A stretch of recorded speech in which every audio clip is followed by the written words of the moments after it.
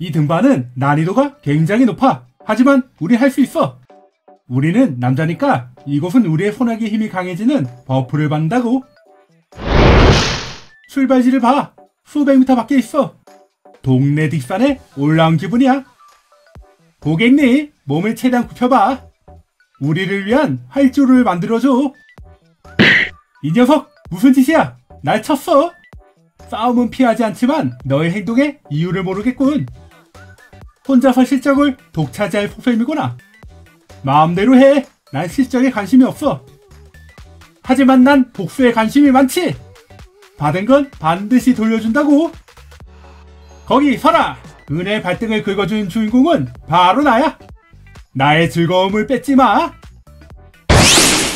하하, 멍청한 녀석. 나를 공격한 대가를 받아라. 거긴 너를 처형하는 죽음의 골짜기라고. 그녀의 허벅지에 살벌하게 잡혔구나. 잘 있어라. 아디오스. 그녀의 발등을 향해 내 온몸을 던진다. 시원해져라. 상쾌해져라. 으아! 지나치게 폭력을 낸 것 같아. 고객님 나 떨어져. 도와줘. nice catch. 그리고 임무 완료. 기분이 상쾌하지? 다음부터는 자신이 직접 발등을 긁도록.